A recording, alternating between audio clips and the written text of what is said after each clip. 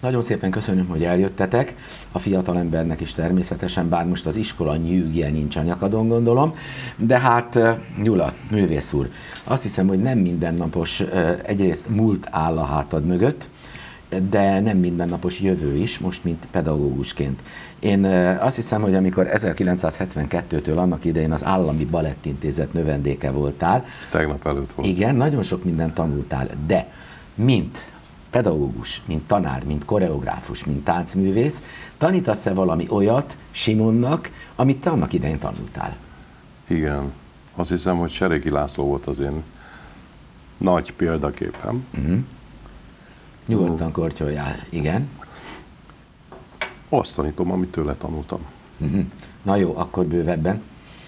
Nehéz elképzelni így, így rögtön nézői szemmel, hogyha valaki mondjuk 12 éves korában jár, és már komoly szerepeket táncol, de az alap, amikor valaki bekerül hozzátok az iskolába, akkor körülbelül annyit tud a néző, hogy van egy korlát, meg egy tükör. Szóval hogy kezdődik Szerintem ez? még ennyit se tud. Vagy még annyit Még sem. ennyit se tud. Én annak idején, amikor táncos lettem, és volt egy elképzelésem, mit jelent a tánc, az azt jelentette nekem, hogy láttam a Fred Astaire-t és a Jane Kelly-t, két nagy amerikai sztárt, ahogy steppelnek és hogy táncolnak a tévében, uh-huh. akkor még csak fekete-fehér tévénk volt, és azt gondoltam, hogy akkor ez egy szuper dolog, mert a tánc az boldogságot ad, és akkor nekem ezt kell csinálni, és akkor jelentkeztem az állami balettintézetbe. De... És akkor láttam életemben először udat, és nem tudtam, hogy mi az. De én azt olvastam valahol, ha már említed Gene Kelly-t meg Fred Astaire-t, hogy az is nagyon tetszett neked, hogy mosolyognak, igen. mert hozzátartozik a boldogsághoz. Igen, igen, igen, Na most igen. akkor adódik a kérdés, hogy mosolyogni is tanítod a növendékeket? Elsősorban azt gondolom, hogy koncentrálni tanítom meg Na neked. igen, jó. És amit a Seregi László tanított, hogy egy mutatás, egy tudás.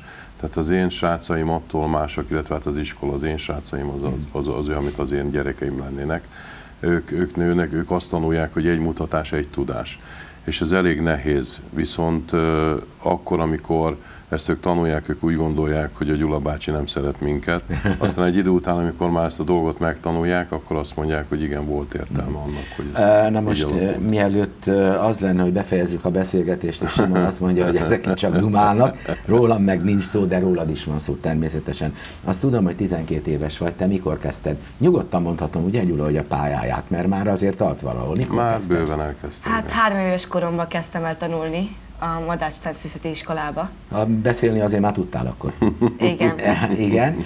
És emlékszel még a kezdő lépésekre, amikor bementél? Nem nagyon, Nem ugye? nagyon emlékszem. Szinte semmire nem emlékszem. Akkor kezdjük onnan, ahonnan emlékszel. Hát az olyan akár kettő as láttam. Ja. Olyan 6-7 éves. Uh-huh. És nagyon-nagyon szerettem. És az elején még nem is vettem úgymond komolyan, csak ilyen hobbi szinten. Uh-huh. És utána belekerültem az első darabomba, a Pán Péterbe, Igen. és akkor nekem nagyon megtetszett, és akkor, akkor éreztem azt, hogy ez nekem, hogy ez nekem nagyon jó. Ez a bekerültem az első darabomba, ez úgy történik, hogy akkor nyilván sok tanítvány van, hogy akkor a mester kiválasztja azt a fiatalembert, srácot, aki, aki oda megy. Ezek szerint, nyugodtan beszélhetünk előtte is, nem titkos, uh, akkor ő nem mázlista volt, hanem már látszott a tehetség. És ez hogy nyilvánul meg ilyen fiatalkorban? Én azt gondolom, hogy egy, egy ilyen koreográfusnak, vagy egy balettmesternek az a dolga, hogy meglássa a gyerekbe azt az ívet, ami benne van, uh-huh. és azt a fajta tehetséget, és nem lehet ezt meg, megmondani, ezt, hogy megérezzük szagról. Tehát ez olyan, mint az orvos, amikor bemész, és azt kérdezi, doktor úr, mi a bajom? És akkor megmondja. És azt mondja, honnan tudja, miért hozzá? Igen. Egyébként azt tudom, hogy, hogy annak idején uh, ifjúkorodban, akkor végig ültél nagyon sok előadást próbált az operában, de ezt azért mondom, mert Simon, te például amikor nem gyakorolsz éppen, vagy nem táncolsz, vagy próbálsz, akkor mit szoktál megnézni? Milyen előadásokat, amiből tanulni lehet? Be szoktál ülni? Um, a társaimat meg szoktam nézni nagyon sokszor, uh-huh. akik az én szerepemet ugyanúgy csinálják, és azokat nagyon szeretem nézni. Uh-huh. Meg még szeretek nézni ilyen műzikeleket nagyon. Azt akartam mondani, és az előbb úgy félmondattal mondtam is, hogy beszédtechnikát nem tudom tanulnak-e a gyerekek, de nagyon Igen. szépen beszélsz. Igen, tanulom. ezt látni, de hát a tánchoz hozzátartozik, a musicalt említetted, az ének is. Énekelsz is? Énekelek is, most már kicsit nehézkesebb, mert most kezdtem el mutálni. Uh-huh. De még még benne vagyok a Billy Elliotban, Igen, és valószínűleg ez az utcsó évem, de még lehet, hogy szeptemberben még leszek. Az igen. A másik dolog, amit mindenféleképpen kérdezni akartam a legelején, hogy amit te tanultál, tanítod-e nekik is. De hát azért azóta változtak az idők, nagyon sokat. Maga az oktatási repertoár, ahhoz képest, ami 20 éve vagy 25 éve volt, mennyit változott, vagy mi az, amit behozott mondjuk a 21. század, ami előtte nem biztos, hogy volt? 83-ban Seregi László Szirtes Tamás megcsinálta a macskákat, Igen. és ez egy nagy áttörése volt a musicalnek Magyarországon. Itt még azért meg kell említenünk Kis Imrét, aki annak idején a Művészetek Palotájának volt Igen. az igazgató. Sajnos akkor, már nincs Igen, akkor ő volt a tavaszi fesztiválnak az igazgatója, és ő általa került be a Madács Színházba, uh-huh. az ő segítségével került be a Madács Színházba a Macskák, aminek nemrég volt a 35 éves jubileum előadása, és igazán ott indult el egy olyan, olyan musical életvonal, ami talán életre hívta a Madás Táncművészeti Iskolát is, mert ugye én azt mondhatom, hogy én azért lettem táncos, mert imádtam a musicalt, imádtam volna steppelni, megtanulni, azóta se tudok, ő tud, de, de azt kell mondjam, hogy, hogy Seregi László nagyon-nagyon sok dolgot tett a magyar táncművészetért, többek között mondhatjuk azt, hogy az ország első musical tánciskolája elindult. Ami most már mondhatom azt, hogy nem csak musical, hogy tanulnak modernet, musicalt, klasszikus balettet, napi szinten steppet, néptáncot, és ami nagyon fontos, amit az előbb a Simon megemlített, hogy tanulnak énekelni, van beszédtechnika, ez a Magyar Állami Operaháznak köszönhető, uh-huh. annak köszönhető, hogy ők finanszírozzák az ő tanulmányaikat, és ők azok, akik felkérték a mi iskolánkat, hogy, hogy oktassuk ezeket a gyerekeket, és készítsük fel az előadásokra. Igen, na most, hogyha már a macskák szóba került, akkor hát azért azt nem kell eltitkolni, hogy a varázsló macska Mephistopheles szerepét 500-szor eltáncoltad, hát azért az, ahogy mondani szokták pestiesen, nem semmi. És a másik, hogy milyen volt az előadás, és ez most gondolom az egész társulatot dicséri, nem tudom hányadik előadás volt, de azt tudom, hogy itt volt Andrew Lloyd- Webber, és volt szerencsém látni azt az előadást, mikor kijött a függöny elé, és elérzékenyült, és megdicsérte a magyarokat. Zárójel bezárva, Simon, hallottad 500-szor egy szerepet. Te melyik szerepre vágysz, amit esetleg 500-szor el fogsz tá- táncolni, hiszen van még időd. Ha Hát, van ilyen. Ilyen, Mondhatsz többet még is. nincs ilyen, Még nincs. de van, amit nagyon el szeretnék játszani. Az az egyik a Józsefben a, a József, Igen. amit nagyon el szeretnék majd táncolni felnőtt koromban, de még, uh-huh. még egyelőre nincs nagyon ilyen álomszerepem. Miben vagy még benne? Hát most egyelőre csak a Billy Elliotban, Mhm. uh-huh. Csak, mondja. De az álomutazó, az álomutazóban is Igen. még benne vagyok, diótörőben. diótörőben, Majd én segítek Azt neki. mondom, Tehát hogy. Jézus Krisztus szupersztár. Így.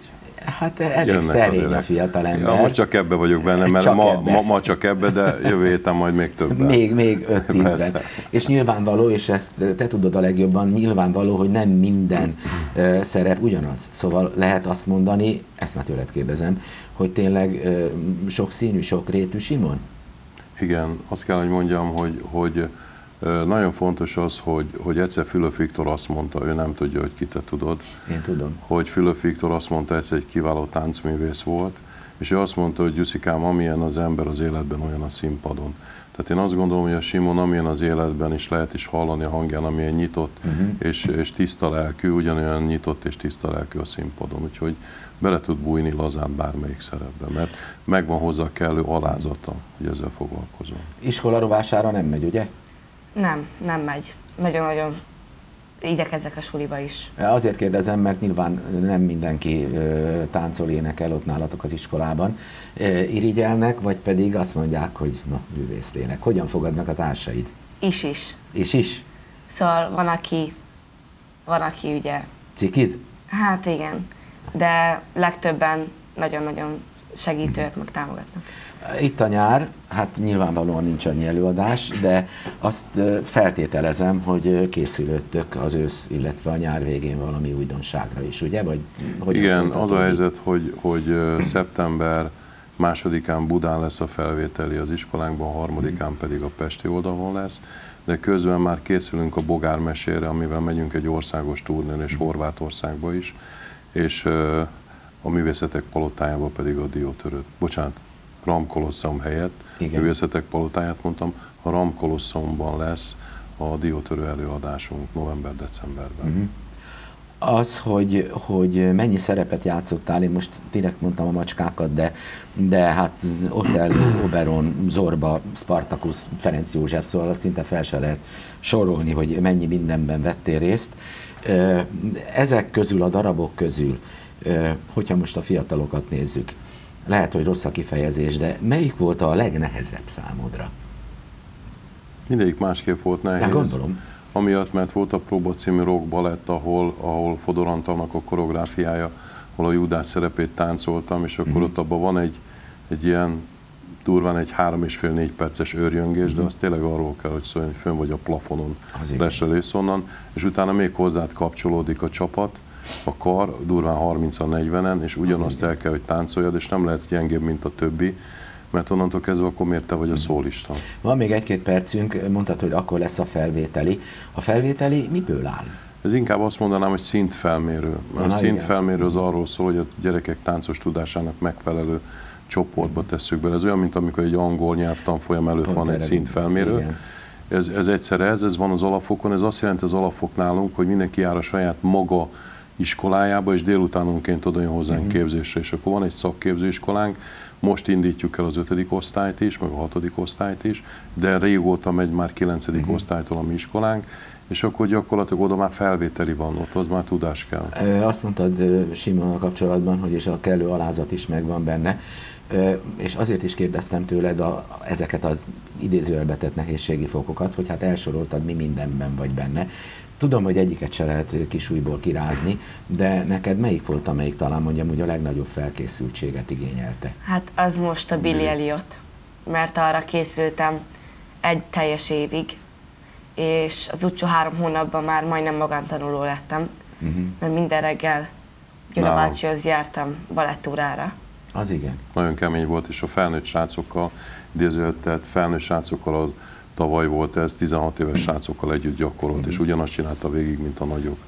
Tehát itt igazán ő, ő hegyeket hordott el ez alatt a kis idő alatt. Egyről még nem beszéltünk a zenéről, és ezt azért hozom szóba, mert tudom, hogy mindkét ö, primás volt. Így van. És neked hogy, hogy nem lett semmi között például a hegedűhöz, vagy nem lettél zenész? Annak idején volt egy próbálkozás a családom részéről, mert zongoráztam, és azt mondta a zongora tanár, hogy megvan a zenei hallásom, de nem tudok egy percet se a fenekemen ülni. Ja, értem. És mondták, hogy valahol máshol figyelnek el. Abszolút Így hallásod van, Így lettem táncos. De egyébként a Seregi mondta azt, hogy bármikor ugyanazt a ritmikát, dallamot visszaadom. Uh-huh. Azt mondja, erre Gyuszikám, rajtam kívül csak te vagy képes.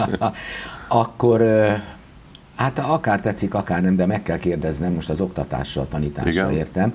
Simontól, hogy mondtad az előbb, hogy Fülöp Viktor, azt már ő nem biztos tudja, hogy kicsoda, de hát akkor most sorolhatnánk Keveházi Markó, a külföldieket nem is említem. A tanulmányaitok során például szóba kerül az, hogy kik voltak ezek a nagy elődök, vagy ezek a fantasztikus balettáncosok? Igen, szoktak. Gyula bácsi nagyon sokszor szokta felemlegetni. Legtöbbször seregit. Hát akkor, akkor jó, hát erre gondoltam én is természetesen. Úgyhogy nagy feladatok állnak előttetek mindenféleképpen. Azt nem kérdeztem még meg, hogy egyrészt hány tanítványod van, másrészt az iskolában eh, mennyien vannak. Hát ö, az Fiúk, iskolában a budai, a budai oldalon, illetve a pesti oldalon egy ilyen 500 növendékünk van, ami nyilván soknak számít, de ha több állami támogatást tudnánk kapni, akkor ez még több tudna lenni, és ez nem menne a minőség rovására, mert igazán ez az iskola tandíjas. Természetesen vannak nálunk hátrányos helyzetű gyerekek is, többek között állami gondozott gyerekek, akik most már nem, bocsánat, nem így kell mondani, nevelésbe vett gyermekek. Igen. És, és romák is úgy tudom. Bőven, persze. És uh, már ő is az, hogy nálunk mindenki roma. És De tényleg. csalázod a roma vakert? Janes utca 2, nem? Janes utca. Mert azért a sukás sérodat azt nagyon megdicsérem. A sukárod a szép, nagyon jól tudod, a sérod meg a haj, azt tudtad. Na, hát akkor nyelvlecke is megvolt. Persze. Na, ez mindenféleképpen öröm hallani, de van ennyi tanár? Van, tehát nagyon sok tanárunk van, hát közel tánctanárban van közel 30 tanárunk, Mhm. és akkor van még közismert oktatási tanárunk is. Akkor most kilépünk sokan. az iskola és a tanítás keretei közül, hanem így zárásképpen egyet. Ugye mindig mondják, hogy a Kirov balett, az akkori szovjet, meg az orosz balett, a franciákat is nagyon szokták emlegetni, meg innen-onnan. És azt tudom, hogy a magyar balett mindig jó helyen volt, és a világon szinte mindenhol táncoltak magyar táncosok. Most, hogyha körülnézünk ebben a nagyon sok színű világban, beleértve mondjuk a macskától kezdve mindent, hol áll így nemzetközi összehasonlításban a magyar balett? Én úgy gondolom, hogy soha nem fogjuk behozni azt a fajta előnyt, azt a több száz éves előnyt, amivel az oroszok, a franciák vagy az angolok rendelkeznek. Más a tradíciók, viszont egy dolgot tudok, hogy a macskákat 83-ban mutattuk be, és ehhez képest egy pár évvel, ezelőtt, pár évvel előtte mutatták be a macskákat, ugye Londonban is, és az Egyesült Államokban is. Úgyhogy én úgy gondolom, hogy a musicalben nem vagyunk annyira lemaradva, tehát mondhatjuk azt, hogy most nincs az a nagy előny a külföldön velünk szemben, Úgyhogy úgy gondolom, hogy a magyar musical játszás az elég jó helyen van, a klasszikus balettnek meg még tekernie kell elég sokat. Nagyon szépen köszönöm, Simon tekerjél még elég sokat, akár klasszikus, akár musical, és akkor művész úr, további sok sikert. Nagyon szépen köszönjük, igazán Köszönöm. megtisztelő Köszönöm. volt itt.